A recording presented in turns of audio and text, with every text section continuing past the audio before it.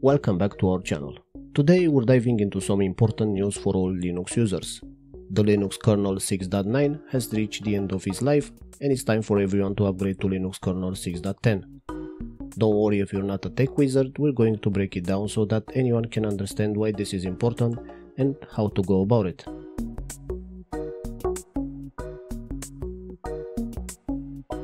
First off, let's talk about what the Linux kernel is. Imagine your computer is like a big orchestra with lots of different instruments, the hardware, and musicians, the software. The Linux kernel is like the conductor of this orchestra. It helps all the parts of your computer communicate and work together harmoniously. Without the kernel, your computer wouldn't know how to make all its parts work together.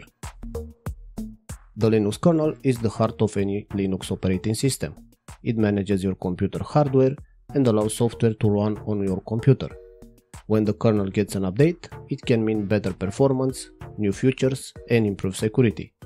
Just like updating an app on your phone, keeping your kernel up to date is crucial for the best experience.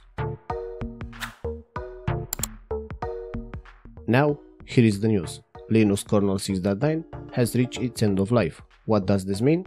Well, just like how a company stops supporting an old version of software, the developers of the Linux kernel will no longer provide updates, fixes, or support for version 6.9.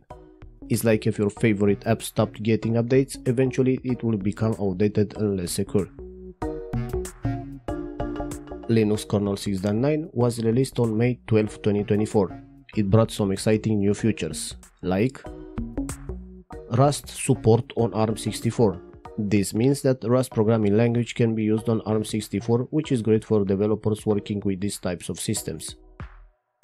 Intel FRED Mechanism this stands for Flexible Return and Event Delivery, a new way for the processors to handle low-level event more efficiently.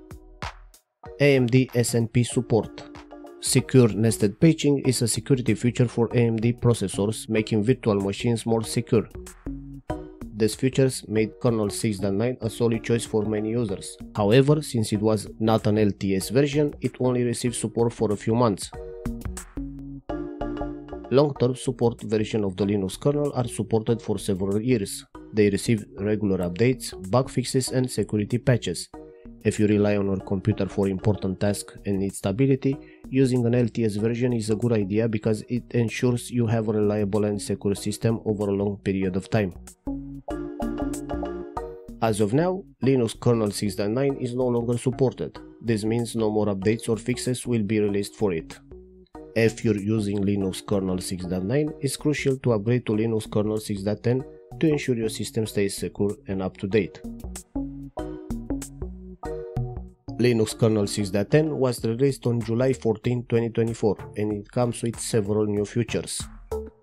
MSeal system call. This is a new system call for memory sealing. It helps protect the memory mapping itself from being modified, which is great for preventing memory corruption issues. Shadow Stack support for X32. This provides additional security for the X32 subarchitecture by ensuring that function call returns go to the correct location. TPM bus encryption and integrity protection. This enhances the security of communication between the Trusted Platform Module, TPM in short, and the system, making it more secure against attacks. Many popular Linux distributions have already started using Linux kernel 6.10.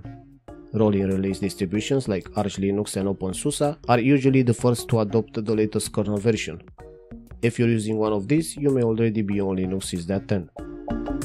Other distributions like Fedora, Ubuntu, and Linux Lite are also planning to upgrade to Linux kernel 6.10 soon. Keep an eye on your system updates, it's likely you'll see the new kernel version available in the coming weeks.